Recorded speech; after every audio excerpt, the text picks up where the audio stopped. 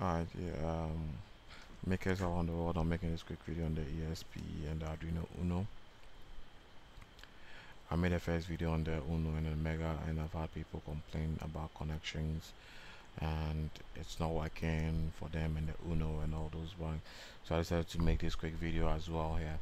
Alright, so I'm gonna talk about the connections on the on the ESP and the Uno first. Um, I think that's a major concern people raised there right here so we're going to follow the orientation where you are going to have your header to your left and you're going to have your antenna to your right. That's basically the orientation we have here where TX is the first pin then then we come having um, GND as our last pin as pin 8 okay. Um, I'd like to talk a little bit on the CHPD pin here. CHPD pin here I don't really know what it does. I have no idea about it but then for some reason I tried and um, experimented um, by by by the Espruino guys. They are like supposed to connect.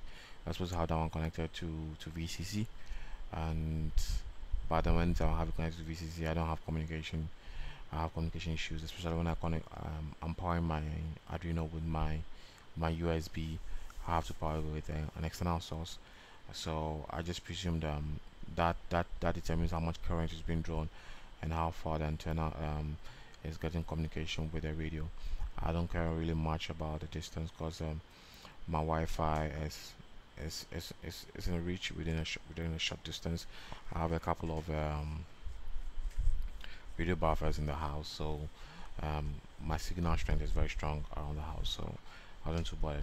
Uh, so what I did was um, I connected the 3.3k from the CHPD to VCC, and that really gave me very good results. I'm running this in the whole day, powered my Arduino with my USB cable here. That means I would see it was drawing less cable here. Alright and the next thing we're going to talk about the GPIO 0 here. GPIO 0 here um, is, is, is the is the run pin and then the program pin. So basically anytime uh, anytime we we want to run the program on the on the ESP we always make sure it's connected to VCC don't bother about that one going to a resistor can connect it to VCC straight and then the, if you want to program the ESP you, you connect it to ground right? Never forget your ESP is powered by 3.3 volts and then your RST is your hardware reset. Is connected to pin 7 on your Arduino. You can change that one in the software as you wish and depending on your pin availability.